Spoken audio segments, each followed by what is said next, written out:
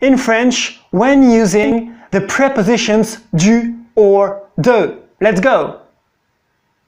Hi English speakers want to learn French. Thank you for watching my first video. Thank you for uh, visiting my YouTube channel Fast French Learning and my blog fastfrenchlearning.ch. I'm Thomas Ricomard from the blog fastfrenchlearning.ch to learn and improve your French.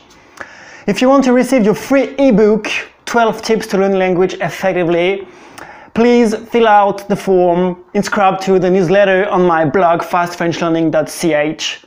You can subscribe as well to my Facebook account, my Instagram account, and my Twitter account. And I will put the links below the video.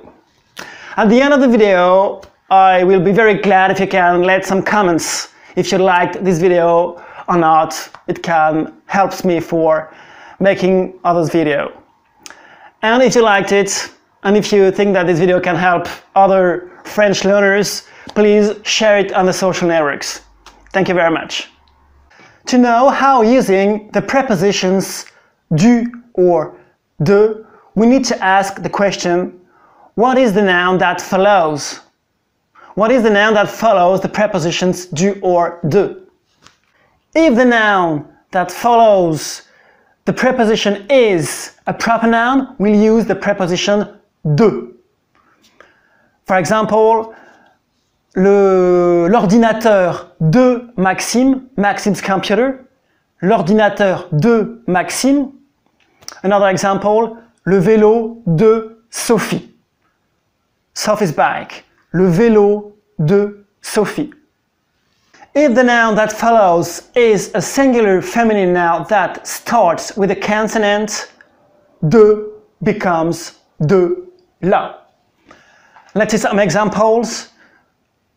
Le, la maison, la maison de la femme, the house of the woman, la maison de la femme.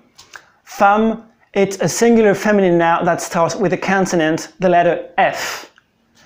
Another sentence, le toit de la maison, the roof of the house, le toit de la maison.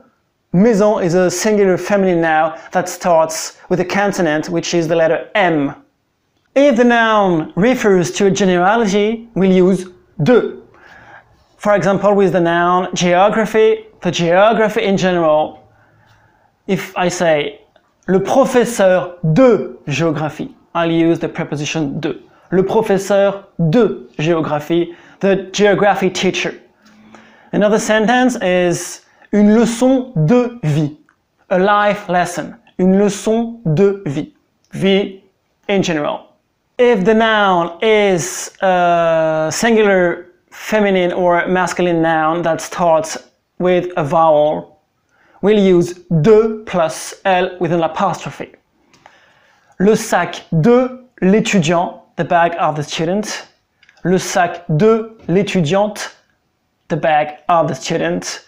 The noun étudiant or étudiante starts with the vowel I, E in French. If the noun that follows is a singular masculine noun that starts with a consonant, we'll use the, the preposition du. Example, l'ordinateur du garçon the boy's computer, l'ordinateur du garçon. Garçon is a singular masculine noun that starts with a consonant, the letter G. Another example, je reviens du café. I'm coming, I'm coming back from the bar. Uh, café in the sentence means the place where you drink coffee, where you, where you drink uh, beers, or sometimes where you can eat. Je reviens du café. Café is a singular masculine noun that begins with a consonant, the letter C. When the noun refers to a generality and when it starts with a vowel, we use the preposition de with an apostrophe. For example, le professeur d'informatique, the computer teacher, is the computer science in general. Informatique is um, begins by a vowel, vowel I, I in French. Another sentence is the, le professeur d'orthographe, the spelling teacher. So, the spelling in general. L'orthographe uh, begins with a vowel, the letter O. And when the noun is plural, we use the preposition des. For example, l'ordinateur des garçons. The boy's computer.